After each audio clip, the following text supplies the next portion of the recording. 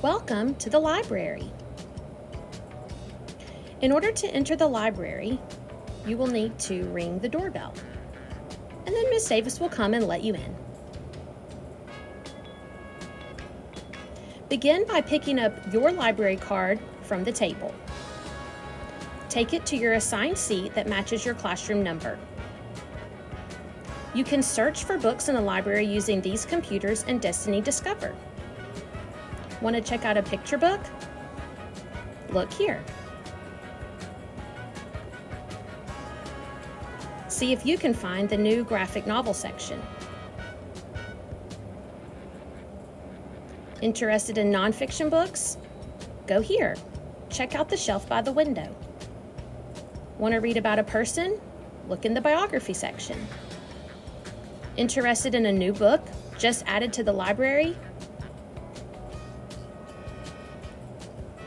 Want to read one of the favorites? Look here, these books will be gone really fast. Or check out any of the other chapter books we have in the library. They're in order by the author's last name.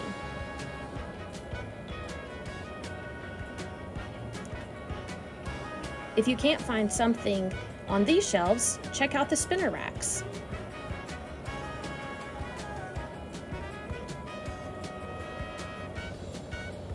After you find the book that you want to check out, you will return to your seat and begin reading or sit quietly until the timer goes off.